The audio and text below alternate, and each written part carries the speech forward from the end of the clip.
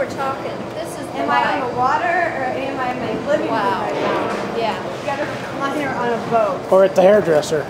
it Doesn't matter. I'm comfortable one way or another.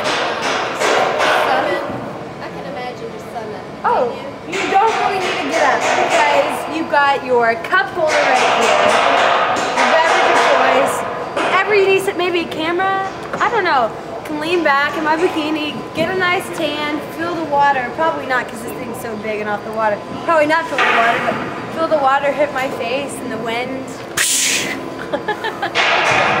Paradise. I know, it's perfect. This is the life, right here. Dallas Boat Show. I might have to take this home with me. Might have to figure a way to sneak it out of here.